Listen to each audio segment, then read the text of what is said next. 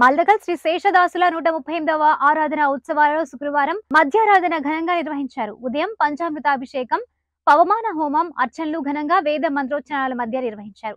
శేషదాసుల వంశస్థులు ధీరేంద్రదాస్ రాఘవేంద్ర విష్ణు శేషగిరిదాస్ ఆధ్వర్యంలో స్వామివారి ఉత్సవ విగ్రహాన్ని రథంలో ఉంచి ఊరేగింపుగా భజన మండలి ఆధ్వర్యంలో హరినామ సంకీర్తనలు చేస్తూ దాసుల కట్ట దగ్గర పూజలు నిర్వహించారు.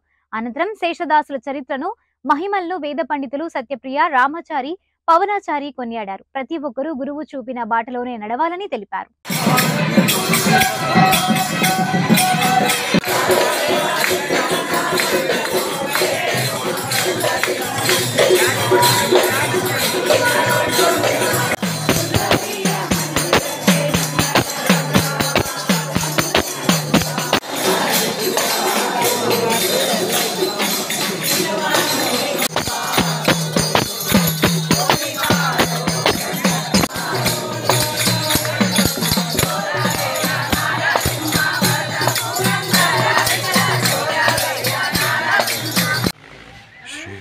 सूतपरजापाख्यमुक्तिपद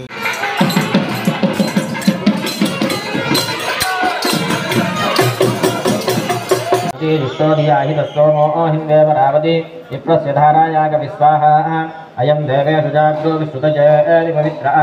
सोमो यागिजर्षणि स्वाहा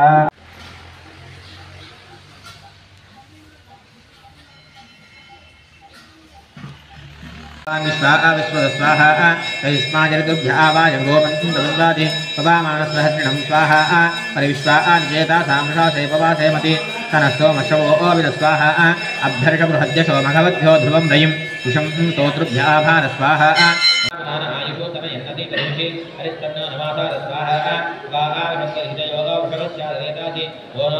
समर्पयामि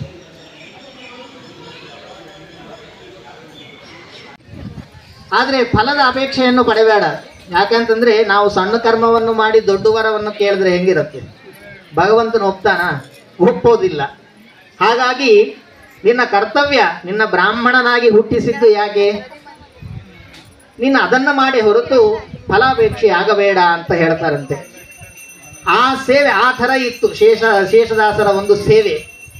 ಅಷ್ಟಲ್ಲದೇ ಶೇಷದಾಸರಲ್ಲಿ ಇನ್ನೊಂದು ವಿಚಿತ್ರವಾದ ಒಂದು ಗುಣ ಏನು ಅಂತಂದರೆ ರೋಗ ಪರಿಹಾರಿಕರು ಆಗಿದ್ದಾರೆ. ಎಂಥ ರೋಗ ಇದ್ದರೂ ಕೂಡ ಆ ರೋಗವನ್ನು ಪರಿಹಾರ ಮಾಡುವಂತಹ ಶಕ್ತಿ ಸಾಮರ್ಥ್ಯವನ್ನು ಪಡೆದುಕೊಂಡಿದ್ದಾರೆ ಶೇಷದಾಸರು.